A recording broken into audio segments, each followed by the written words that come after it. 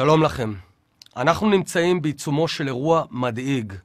בשעות האחרונות התבשרנו שאיראן והמעצמות מצויות על סף הסכם אשר יכשיר רשמית את הפיכתה של איראן למדינת סף גרעינית. הסכם כזה יבשר עידן של מזרח תיכון חדש ואפל. אנחנו בדקה ה-90. עלינו לעשות הכל על מנת למנוע חתימה על הסכם כזה. במצב כזה אין קואליציה ואין אופוזיציה. נשק גרעיני לא יבחין בין ימין לבין שמאל. על כולנו להתייצב מאחורי ראש הממשלה בנסיעתו הקרובה לארצות הברית.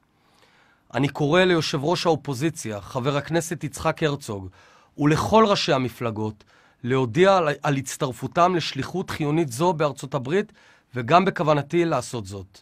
עכשיו הזמן להתאחד.